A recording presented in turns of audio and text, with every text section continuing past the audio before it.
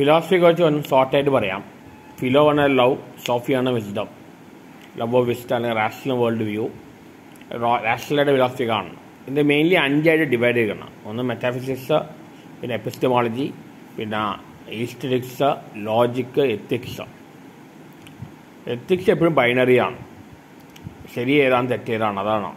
What is what ought to be എന്ന് പറയും. Ethics റിലേറ്റീവാണ് കുറേ എല്ലാം. അത് മോറൽ ഫിലോസഫിയിൽ വരുന്നതാണ്.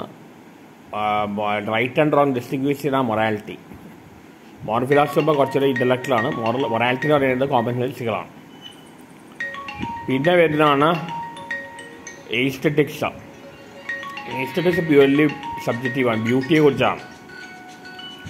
ഒരു ഒരു പെയിന്റിങ് ഒരാൾക്ക് തോന്നുന്നില്ലെങ്കിൽ വേറെ ആൾക്ക് തോന്നുന്നു. അത് വളരെ സബ്ജക്റ്റീവാണ് പിന്നെ വരുന്നത് ലോജിക് ലോജിക് പറഞ്ഞാൽ അരിസ്റ്റോട്ടിലാണ് സിലോജിസ്റ്റിക് ലോജിക് കൊണ്ടുവന്നത് പിന്നീട് ആ സിംബോളിക് ലോജിക്കാൻ മാറ്റിയത് ബൂൾ ഫ്രഗെ അവരെ പോലെ മാത്തമാറ്റിക്സുമാരാണ് സിംബോളിക് ലോജിന്റെ ആപ്ലിക്കേഷൻ കമ്പ്യൂട്ടർ സയൻസിൽ കുറേയുണ്ട് പിന്നെ വരുന്നതാണ് എപ്പിസ്റ്റമോളജി പറയും knowledge nature knowledge source of knowledge epistemology വരുന്നതാണ് ലോജിക്ക് എപ്പിസ്റ്റമോളജി ഡെവലപ്പ് ചെയ്ത് ആക്ച്വലി നോളജിന്റെ ഡെവലപ്പ് ചെയ്ത് സോക്കറ്റിക്സ് തന്നെയാണ്. എത്തിക്സ് ഡെവലപ്പ് ചെയ്തത് സോക്കറ്റിക്സ് ആണ്. ഇൻഡക്ഷൻ കൊണ്ടുവന്നത് സോക്കറ്റിക്സ് ആണ് ലോജിക്കലാണ് പിന്നെ പറയാനുള്ളത് മെറ്റാഫിസിക്സ് ഇപ്പോൾ ഗ്രീക്ക് ഫിലോസഫിയിലെ മെറ്റാഫിസിക്സ് ആയിരുന്നു ബിയോണ്ട് ഫിസിക്സ് അല്ല ബിയോ സയൻസ് അത് ലോജിക് പോസ്റ്റുകാർ ഭയങ്കര എതിരായിരുന്നു കാരണം എംബറിക്കലായ കാര്യം മാത്രമേ അക്സെപ്റ്റ് ചെയ്യുള്ളൂ. ഈ മെറ്റാഫിസിക്സ് എംബറിക്കലല്ല റാഷണൽ റാഷണാലിറ്റിയിലെ മെറ്റാഫിസിക്സ് ഉണ്ട്. പക്ഷേ എംബറിക്കലിലെ മെറ്റാഫിസിക്സ് അല്ല ഗ്രീക്ക് ഫിലോസഫി മെറ്റാഫിസിക്സിൽ നിന്ന് ഹ്യൂമൻ ലെവലിലേക്ക് കൊണ്ടുവന്ന പ്രോട്ടോകോറസ് ആണ്.